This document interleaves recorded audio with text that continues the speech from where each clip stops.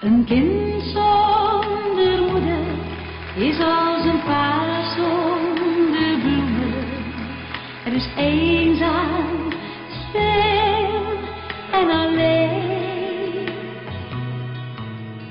Een kind zonder moeder is als